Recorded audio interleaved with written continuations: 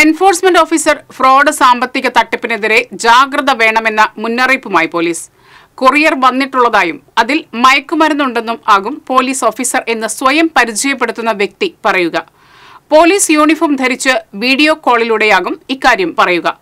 തുടർന്ന് സാമ്പ- സമ്പാദ്യ വിവരങ്ങൾ നൽകാൻ ആവശ്യപ്പെടും. വെർച്വൽ അറസ്റ്റ് ചെയ്തിരിക്കുകയാണെന്നും ബാങ്ക് അക്കൗണ്ടിലെ പണം അവർ ആവശ്യപ്പെടുന്ന അക്കൗണ്ടിലേക്ക് മാറ്റാനും ആവശ്യപ്പെടും.